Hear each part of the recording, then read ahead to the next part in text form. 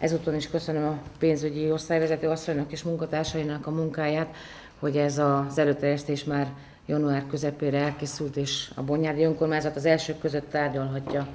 a vöt költségvetését, ami nagyságrendileg ö, mértékében hasonló a tavalyi évhez, bár a gondozási központ tekintetében a garantált bérminimumok emelkedésénél azért van egy ö, nagyságrendi növekmény, ugye ott 55,5 az engedélyezett ö, létszáma az álláshelyeknek, és az intézmény vezető asszonyt és talán egy kollégáját kivéve valamennyi munkatársat érintett ez a bérnövekmény, ami azért egy jelentős növekmény. Az állami támogatások szintén a gondozási központ tekintetében a 120 millió forintról 150 millióra nőttek, tehát egy 30 milliós növekedéssel számolhatunk 2019-re. Ugyanakkor vannak ezek a költségnövekményeink is, hogy, hogy összességében a társult településeknek